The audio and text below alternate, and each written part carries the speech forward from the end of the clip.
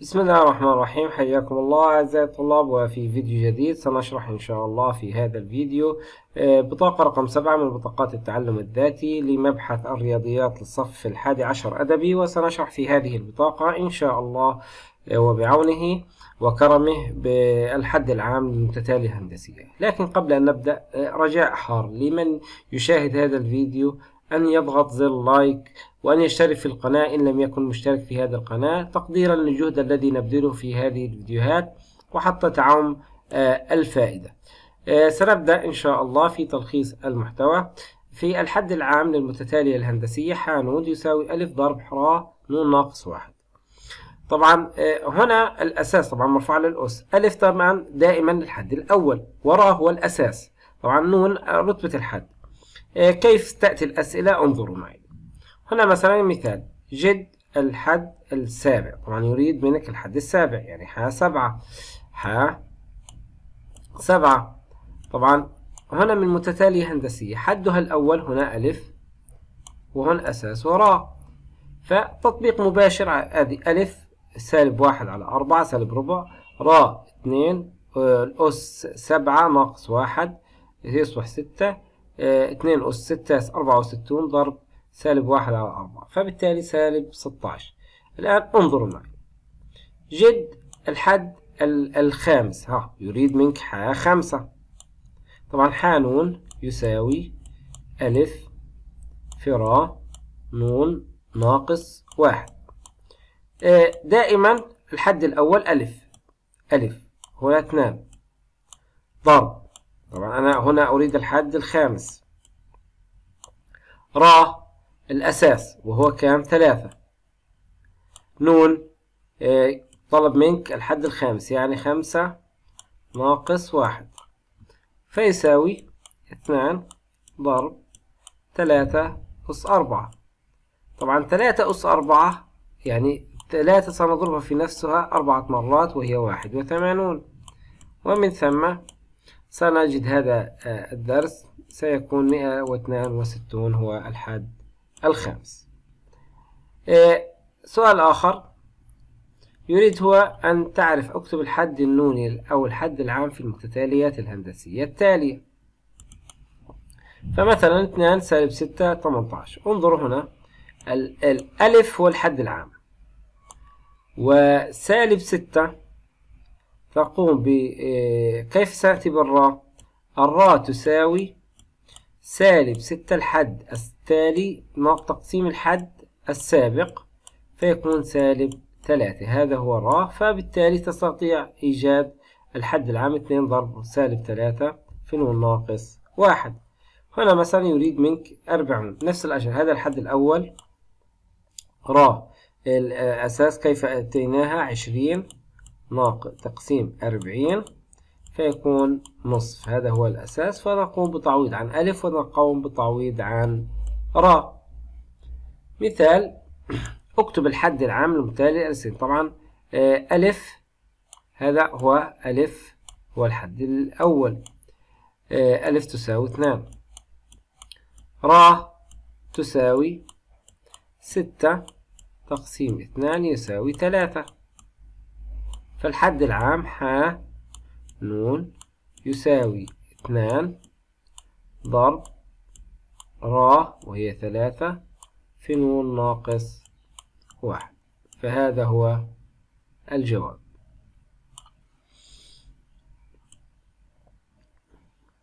آه، نشاط ثلاثة. متتالية هندسية حدها الرابع يساوي أربعون وحدها السابع يساوي ثلاثمائة وعشرون. اكتب هذه المتتالية. طبعا حد الرابع آه سنقول حاء أربعة ألف ضرب راء أربعة ناقص واحد. طبعا الحد الرابع هو أربعون. والأساس طبعا أربعة ناقص واحد آه الأس. فيطبخ هذا المعادل الأول. بالمثل سنعمل الحد السابع سنقوم بالتعويض عن نون. ونقوم بالتعويض عن حد سبعة سيكون عندي أصبح معادلتين. بقسمة اثنان على واحد فنقسم. طبعا الألف سنختصرها مع الألف.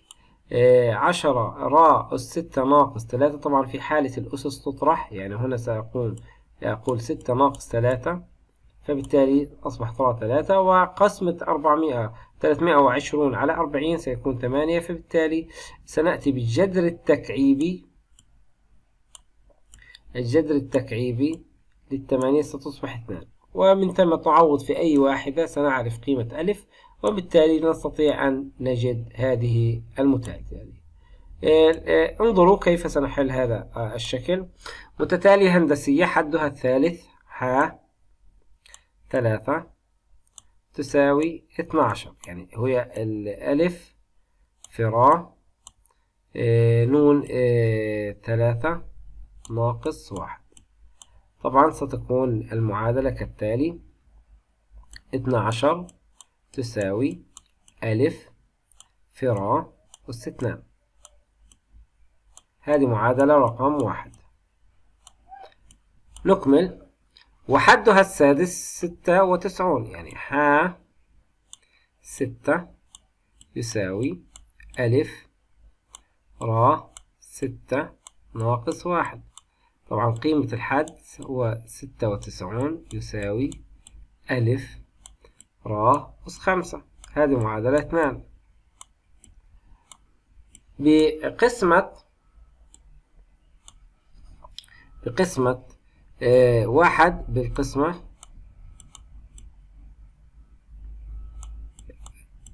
سأقسم اثنان على واحد ستكون طبعا هنا آه ستة وتسعون على اثنى عشر يساوي ألف.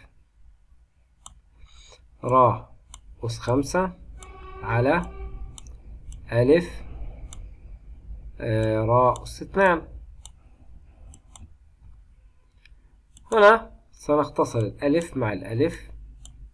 الأسس في حالة القسمة تطرح فخمسة ناقص ثلاثة ناقص اثنان ثلاثة فرا أس ثلاثة. آه، ستة ستة وتسعون تقسيم آه، اثنى عشر. سيساوي ثمانية. طيب، سنأتي بالجذر التكعيبي للتكعيبي بالآلة الحاسبة اللي را تكعيب يساوي الجذر التكعيبي للثمانية. من خلالها را تساوي اثنان.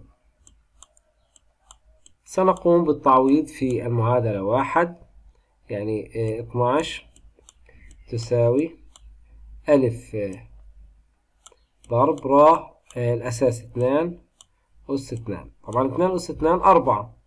فبالتالي سيكون اثناش تساوي أربعة ألف. سنقسم على أربعة. سنقسم على أربعة.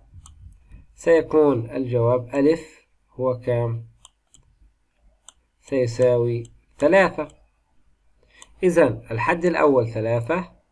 والأساس الأساس هو كام؟ اثنان. سنضرب في اثنان يعني ثلاثة ضرب اثنان هنا ستقوم بالضرب في في اثنان.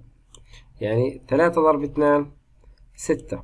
ستة ضرب اثنان اثنا عشر اثنا عشر ضرب اثنان أربعة وعشرون وهكذا حتى تصل إلى النهاية.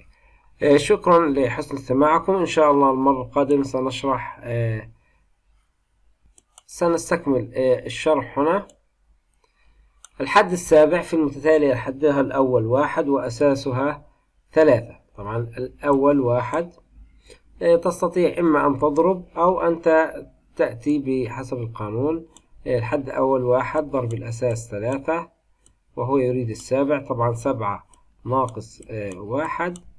وبالتالي تساوي سيكون الجواب هو د الحد السادس في المتتالية الحسابية طبعا هذا الحد الأول ألف سنقوم بستة تقسيم اثنان سيكون الأساس هو ثلاثة.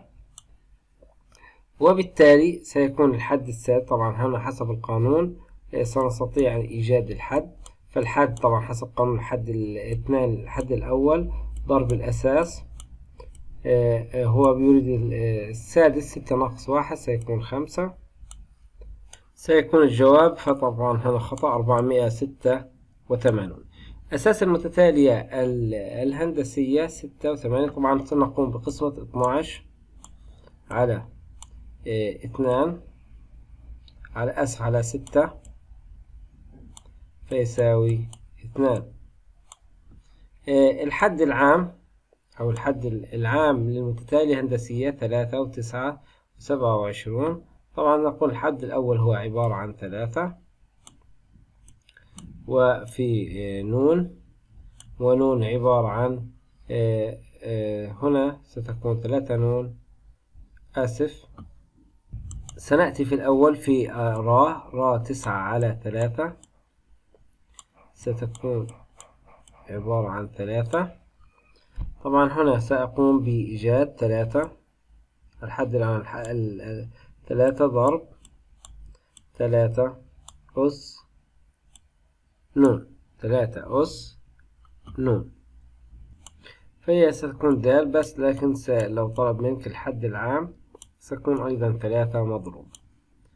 لأنه يريد الحد العام. أساس المتتالية الهندسية في الحد الثالث هو 12 وحدها الخامس هو 48 آه، يريد. سنقوم هنا. إذا أردت أن تحل هذا الحل بشكل سريع آه، ستقوم بعمل قسمة. سنقوم القسمة من حدين أو من جزئين. هنا سنقوم بقسمة 48 الحد الخامس على الحد الثالث هنا الموجود ألف ألف حسب القانون. هنا را الخامسة خمسة ناقص واحد. وهنا را ثلاثة ناقص واحد. سنختصر في الحل. طبعا آه، ألف ستذهب مع ألف. ثمانية وأربعون تقسيم اثنا عشر سيكون أربعة. والراء في حالة. طبعا هنا راء خمسة ناقص واحد ستكون أربعة. وراء طبعا هنا سيساوي هذه أربعة. وهنا ستكون اثنان. أربعة ناقص اثنان. اثنان. فراء تربيع. لأن الأسس في حالة القسمة تطرح. سنقوم بإيجاد الجذر. فراء ستساوي اثنان. راء ستساوي اثنان. آه، الحد الذي قيمته 486 في المتتالي هندسية 2 6 و8 هو طبعا آه، آه، هنا آه، سنكون حانون. ستساوي ألف فرا نون ناقص واحد. الحد المطلوب هو 486 ألف هي اثنان. را طبعا كيف ستة ناقص تقسيم اثنان ستكون ثلاثة. في نون ناقص واحد. سنقسم الطرفين على اثنان. سيكون الجواب آه، ميتين آه، ثلاثة وأربعون.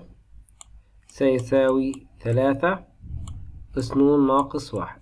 طبعا ميتين ثلاثة وأربعون هي آه، عبارة عن ثلاثة. ثلاثة أس خمسة. وتساوي ثلاثة نون ناقص واحد. طبعا بما أن الأساس متساوي إذا الأس متساوي آه الأسس فخمسة تساوي نون ناقص واحد. سنقوم بنقل الواحد على الطرف الآخر سيكون نون تساوي خمسة زائد واحد وفي هذه الحالة سيكون نون ستة فهو الحد السادس. هو الحد السادس. هكذا نكون قد أنهينا هذه البطاقة. إن أعجبتكم يرجى أن تنشروها وأي خطأ في الحسابات آه، سامحوني. واكتب لي في التعليقات حتى أعدله. والسلام عليكم ورحمة الله وبركاته.